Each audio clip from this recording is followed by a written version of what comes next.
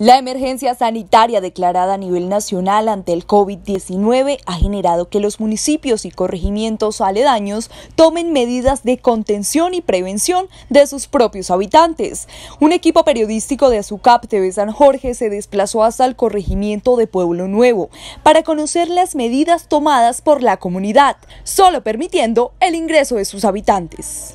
Una iniciativa de la comunidad en general y muy apoyada por, por, la Junta de Acción Comunal porque se nos estaba ingresando mucha gente a tomar paseos. Como estábamos en cuarentena, entonces vieron muy bonito para pasear.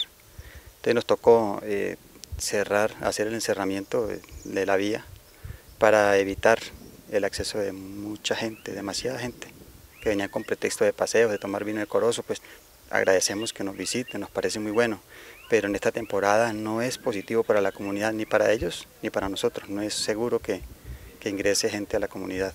Desde que inició el aislamiento social obligatorio declarado por el gobierno nacional, el corregimiento de Pueblo Nuevo tomó sus propias medidas de prevención al contagio del coronavirus. Se basa en, en impedir el ingreso de gente desconocida, o sea que no tiene ningún, ningún nexo ni ningún no son conocidos nuestros, eh, por ejemplo, un familiar nuestro, pues obviamente si sube a, a, visitarnos, a hacer alguna diligencia, pues hay que darle el ingreso.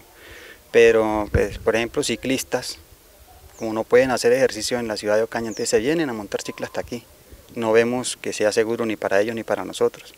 Entonces, en eso es que se basa, en la seguridad para nosotros y para los visitantes. No es, no es positivo para ninguno el ingreso acá, ni, ni nosotros. Nosotros tratamos de no ir a la ciudad mientras no haya una necesidad grande.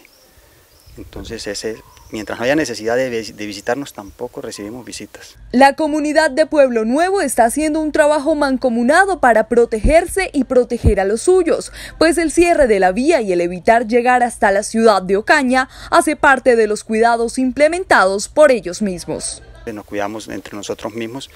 Bajamos a Ocaña cuando hay necesidad de mercar y, respetando el pico y cédula para evitar multas y todo ese cuento. Incluso cuando alguno de nosotros tiene el pico y cédula y tiene el ingreso a la ciudad para traer un mercado, qué sé yo, el vecino le colabora porque le colabora al vecino porque que el vecino no tiene el pico y cédula, entonces hace sus encarguitos y con eso evitamos tanto acceso a la ciudad, porque es que de eso es que se trata. Gracias a Dios hemos tenido, pues estamos surtidos de, de nuestros enseres, pero pues ojalá no se nos alargue mucho porque ahí sí entraríamos de pronto ya en dificultades.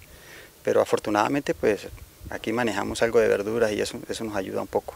Sus habitantes, aún estando el pueblo en aislamiento total, siguen las medidas en casa. No salen si no es necesario y que sea para abastecerse. Quienes tienen niños menores de edad y adultos mayores no los dejan asomar ni a la puerta por miedo al COVID-19. El aislamiento es difícil para nosotros en vista de que estamos acostumbrados a estar, estamos a un pasito de Ocaña, ¿no? Entonces, este, a estar en las compras, haciendo el mercado, eh, compramos a precio regular, mientras que ahorita los precios pues bastante, han subido bastante en, en cuestión de, de la canasta familiar. Tratamos de no salir de la casa, eso es lo mejor que podemos hacer, no salir. Con los niños, por ejemplo, yo tengo una niña de 5 años, eh, no la saco para nada, más ni a la puerta la dejo asomar, este, no recibimos visitas, eh, nos mantenemos al margen de la situación como para evitar.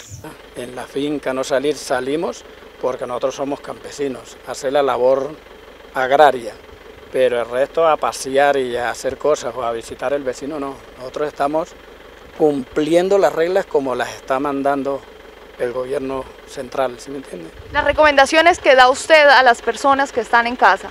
Las recomendaciones las que da el gobierno central, no visitar la gente, no saludarla de beso, de abrazo, tomar las medidas que realmente se requieren para eso. El beneficiado es uno y la comunidad. El corregimiento de Pueblo Nuevo se vuelve ejemplo de trabajo en equipo para proteger a los suyos en estos momentos de crisis, haciendo un llamado a la ciudadanía ocañera para que nos quedemos en casa en tiempo de coronavirus. Eh, agradecemos que, que les guste el pueblito, que nos quieran visitar, ya se llegará el momento en que volvemos a tener normalidad y volvemos a recibirlos con mucho cariño y que los invitamos a que vengan a tomar vino de Corozo, a conocer nuestros productos, nuestros cafetales, a disfrutar de nuestro clima, pero por el momento hombre, quédese en casa. Quédese en casa, protéjase y proteja a los suyos del COVID-19.